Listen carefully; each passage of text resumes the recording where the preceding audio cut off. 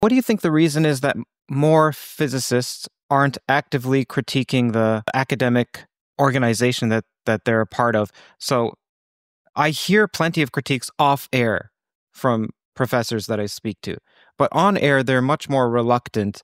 And one reason may be that that occurs to people who are listening could be well the academic positions are precarious especially without tenure so when you speak it's like you're biting the hand that feeds you and so maybe you have the incentive to do the opposite to say no no i love everything about where i work and everything is copacetic no i think very few people say that okay so you're one of a, maybe 10 people that i know who are currently in the academic institution right yes who are willing to say there's something rotten at the core of the institution.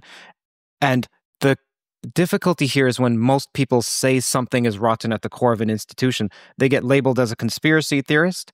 The mental image people have of what you think is okay. At some point, people sat around with cigars thinking, how can we make this less efficient yeah, and no, more yeah. beneficial to myself? And there were distributions of notes that said burn after reading.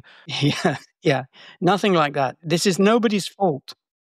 Nobody is to blame that, that is part of why it, why it, the, the, it's hard to change.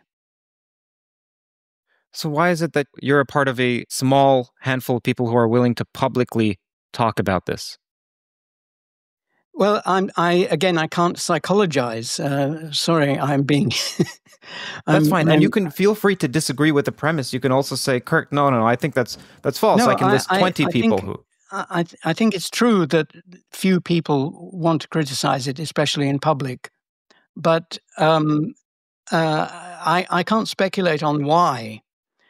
Um, you know, is it because of their career, like you said? Uh, is it because they consider their position precarious? Um, uh, a whole load of other considerations come in once you have tenure, um, because you're not you're not um, you're not a free agent when you have tenure. It's it's supposed to make you um,